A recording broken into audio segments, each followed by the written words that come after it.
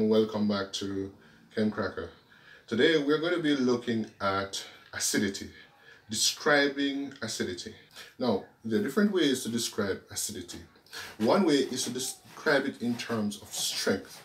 So we might describe an acid as very strong or weak. Another way to describe acidity is using concentration. Say an acid might be concentrated or it might be dilute. But what do these two terms mean? And how does that affect acidity? We're going to take a closer look. Now, acid strength describes how dissociated or how ionized an acid is in aqueous solution. In other words, when it dissolves in water. So, we say strong acids are fully ionized, it means that there is 100% dissociation in aqueous solution. Okay, so if I had a million molecules of HA, all of them will turn into ions. And that is what we call a strong acid. So in a strong acid, we have many ions and few or no molecules at all. In other words, the equilibrium is to the far right. On the other hand, in a weak acid, what you have is the opposite. The equilibrium lies to the left.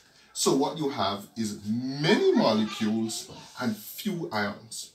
A good way to describe a weak acid is to say that it's an acid that is only slightly ionized in aqueous solution. The vast majority of the acid will be in the form of the molecule, not ions. Now concentration is different. Concentration has to do with how many molecules are actually in a certain volume of solution. So for example, you might have a 10 mole per dm cube solution. That would be described as concentrated versus a 0.01 mole per dm cube solution, which would be taken as dilute. Now, obviously, the 10 molar acid solution would be more active, more reactive than the 0.01 mole per dm cube. So if I have 10 molar HCl and I react it with a metal, the reaction will be much more vigorous than if I used 0.01 mole per dm cube. So obviously, if the acid is more concentrated, it's more active. But when you think about the acid, what's the active ingredient? It is the H plus, right? So if you have a more concentrated solution, you're going to have more H plus ions and hence a more vigorous reaction. But strength also plays a role, right? Obviously, if I have a 10 molar HA solution and it is only 50% dissociated, then the concentration of H plus will be only 5 molar, right? If it is 5% dissociated, then it's 0.5 molar. So the degree of dissociation or the strength also plays a role in the concentration of the H plus ions. Remember, the H plus ions are the active ingredient in an acid. The active ions in an acid.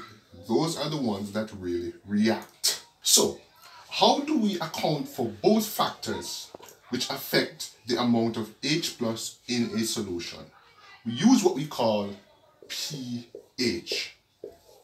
We're going to look at pH more closely. Now, since we know that it's the H plus ions which are the active ingredients in an acid, then we have to figure out a way to measure the H plus ions that is more precise and accurate than using these vague concentration terms, whether it's concentrated or dilute, or vague strength term, whether it's very strong or weak acid.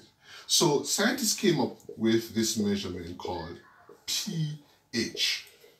And the pH is will be a measure of the hydrogen ion concentration in a solution.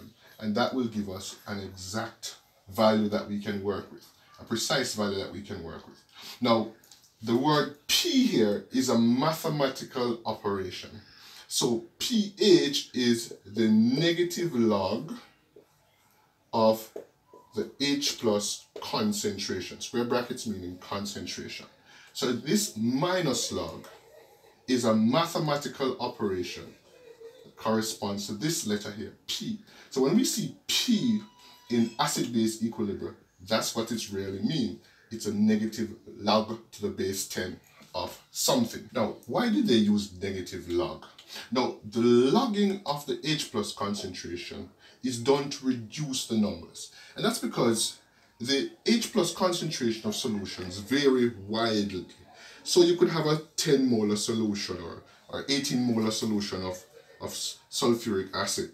And you can go up or down to something like a 1 times 10 to the minus, uh, 20.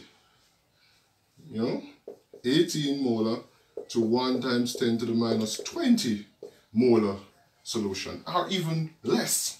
So the, the big spread means that you have to have a way to compress the numbers into numbers that we can work with as um, scientists. So one of the ways to do that is to log the number so that numbers become smaller and more compressed.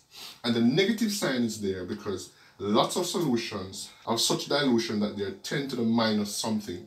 So when you negative it, you get a positive number.